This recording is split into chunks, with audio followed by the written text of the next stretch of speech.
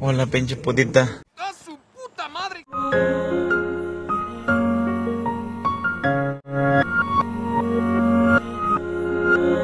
Te pones bien cachonda, hija de tu puta madre. Karen, Karen, Polinesia.